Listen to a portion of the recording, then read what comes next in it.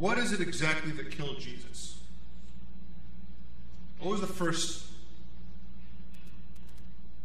domino that fell that ended up in his crucifixion? Because we know the end of the story, we know really clearly. It was Roman soldiers that nailed his hands to the cross. Before that was Pontius Pilate, who kind of was going back and forth with the crowds, and then it was Herod. And the domino, the first domino that falls, the first cause is the Pharisees. It's this group of Jewish leaders that had a particular doctrine, and the thing that distinguished them from others doctrinally, you know, as far as what they believed, was that they believed that there was life after death. And other Jewish parties, the Sadducees namely, didn't believe in that because it's not really that clear in the Old Testament. But what about them? It certainly wasn't the fact that they believed in life after death. What about the Pharisees? Began that process that led to Christ dying. I think it's an important thing to pay attention to. What is it that killed Jesus? Well, let's ask him. What does Jesus say about the Pharisees? What's his common name for them? Jesus never calls the Pharisees evil. He never, he never simply calls them sinners. That's too generic. There's something very specific that's the beginning of the death of Christ. It's not malice, it's not even jealousy, though I think that has a lot to do with it. The thing that, call, that Jesus calls the Pharisees over and over again is hypocrites. It's hypocrisy.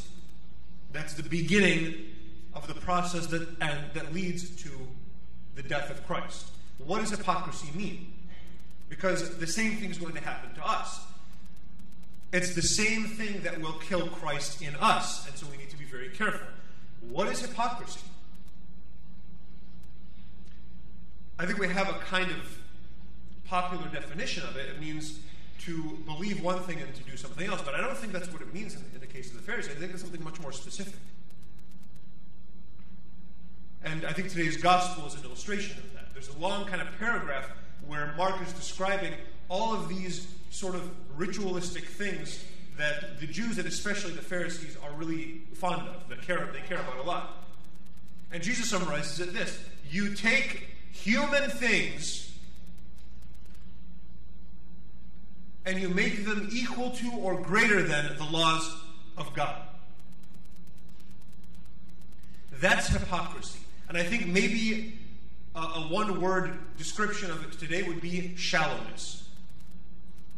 It wasn't malice, it wasn't evil, it wasn't, it wasn't jealousy even that crucified Christ. In the beginning, it was shallowness. That was the beginning.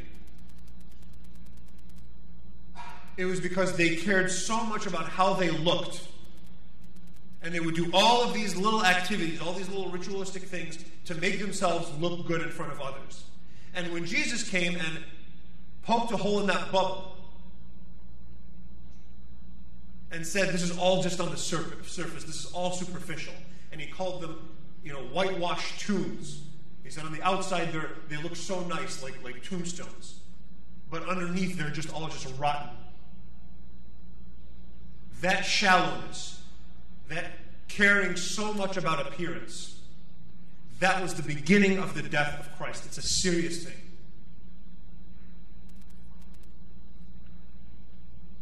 And it becomes more serious the more we care about these shallow things. So I'm going to take a few examples, but I'm going to, I'm going to focus mainly on one. But I'll give some examples. We have very, I think, good, there's nothing wrong with any of these things, very good human rules, human rituals. For example, get up in the morning. And everybody has a kind of ritual that they go through in the morning. Brush your teeth, you take a shower, whatever. And I don't know if you're like me, if I don't brush my teeth, I'm, I'm going to feel really weird until I do. There's going to be something off. And that's fine. That's a very solid part of the ritual, and if I don't do it, there's something I'm going to feel weird. And in fact, it's kind of an act of charity to brush your teeth because it's really for others to not smell your breath. The question I have is do I feel just as icky? Do I feel just as gross when I don't pray in the morning?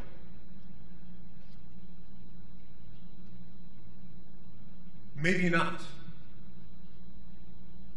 All right, that's a small thing. What about when you eat? Well, yeah. One of the things that comes up in the gospel today is the Jews wash their hands before they eat. Okay, well, that's I think a very good thing. It's not the fact that they wash their hands before they eat that's, that's the issue. It's that they make it into this dogmatic thing that if you don't, you're committing a sin. It's not. It's a human thing. And they're taking a human thing and making it as if it comes from God. Or they're making it as important as the commands of God are. And it's not. And that's where we begin to see the whole facade crumble. It's when it's presented as if, if you don't do this, you are bad, there is something wrong with you. Now, I gave the example of getting up in the morning and brushing your teeth. The gospel gives us the example of washing your hands before you eat. But I think in, in our community, the place where ritual, uh, human rituals, are the most, not just prominent, but the most dogmatic, where there, there, there's the most social pressure, is in weddings. There are a lot of laws that human beings have created, and specifically Chaldeans have created, for weddings. There are laws. They're, they're, in the minds of our people, they're very important laws. Like you have you have to do a promising. Okay, nothing wrong with that. You have to do a proposal. Okay, nothing wrong with that. You have to do an Instagram proposal. and if you don't, you don't really love each other. That's where the laws start to, you start to have a question mark about them. And then you have to have an engagement party. You have to have a nishan. Those used to be the same. I don't, maybe they still, they still are the same. I don't pay attention anymore. You have to have a bridal shower. Fine. I'm not saying any of these are wrong. I'm just showing you the list of laws that are so important. Then you have to have the bridal party cruise. You have to have the groomsmen Vegas trip you have to have and then then we get into mortal sins those might be venial if you don't do those all out. But apparently from what i'm told if the, if a woman doesn't have a brand new dress for that wedding that's a mortal sin. If she doesn't spend several hundred dollars doing her hair and her makeup i really feel bad for women for all of the pressure that they, they go under. It's ridiculous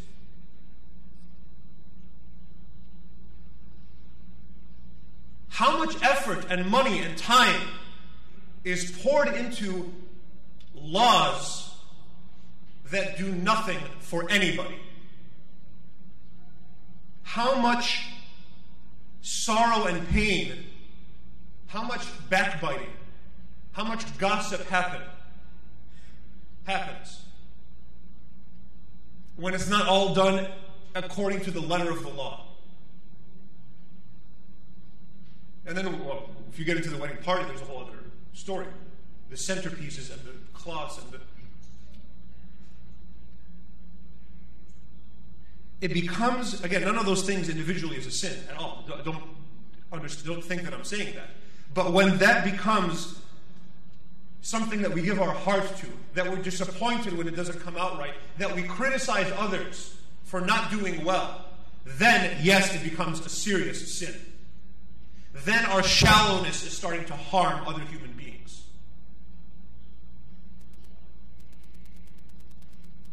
And when it becomes a competition of how many people I can invite to my wedding, of how much I can spend on my flowers. And if I do spend more, that somehow makes me better than you. No, it doesn't. If anything, it makes me more tacky.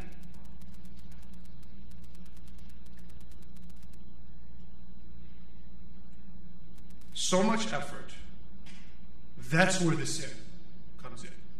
Caring so much, not any one of those individual things, but making that our heart, making that the important thing. You know why that's a sin? Because we only have so much care in our heart. We're limited, we're not God. And when we have limited resources, when we have a heart that is only so big, we can only fit so much in it. And when we fill our heart with all of this shallow garbage, when that's our heart, that means there's that much less, less room for God. And when we care so much about obeying all of these laws that everyone tells us to obey, we care that much less exactly about the laws of God that, we, that really make a difference in our lives, that really make us happy. And so, all of the effort that goes into that, and, the and I'll just show you how the laws of God are just thrown away, or just put aside. It is the law of man that you have to do your hair and your makeup, and you have to do the pictures before the wedding, and you have to do all this stuff. It is the law of God that you have to go to Mass every Sunday, including Sundays that you have to go to a wedding.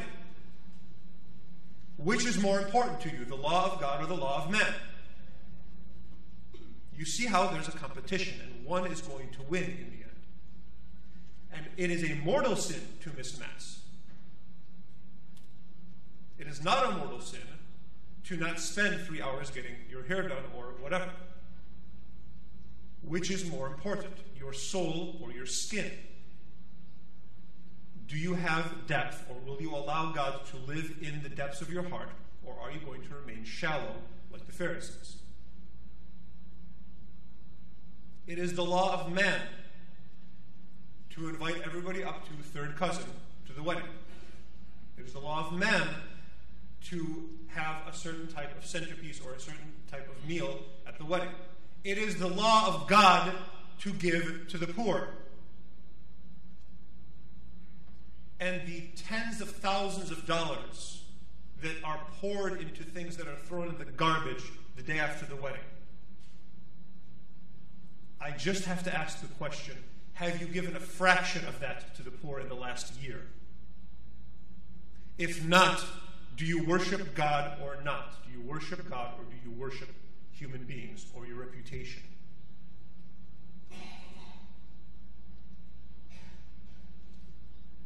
So much effort is put into the trappings, the, the gowns and the suits and the tuxedos and all of the exterior things. And it's not large, but it's there. Divorce exists in the Chaldean community. We're, we haven't caught up to the rest of America. The rest of America is around 50%. We're around 12, 13, maybe up to 15%. But it's increasing. Is as much effort put into loving one another as husband and wife or as fiancés?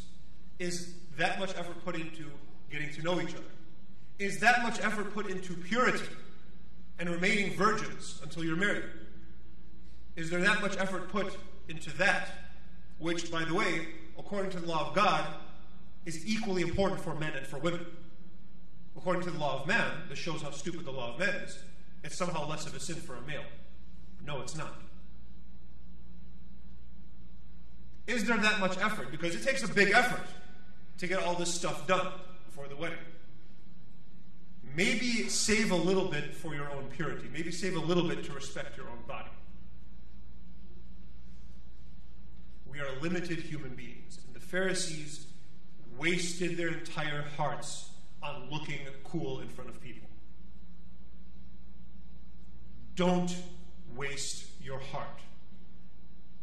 God wants to live within your heart, but in order to, for God to live within your heart, there has to be an inside there has to be depth for God to find. And if everything has become shallow, if everything is superficial, there's no room for God. And that is what happened to the Pharisees. And that is what happened leading, that is what happened that led to the crucifixion. But Christ died and he was placed inside the tomb. Tomb that was empty and that was brand new and that no one else had been inside before.